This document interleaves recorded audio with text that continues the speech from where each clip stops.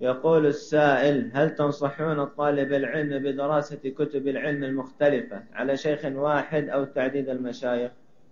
حسب التخصص. إذا وفقه الله لشيخ عنده علوم كثيرة تخصصات كثيرة فلا مانع أنه يقتصر عليه.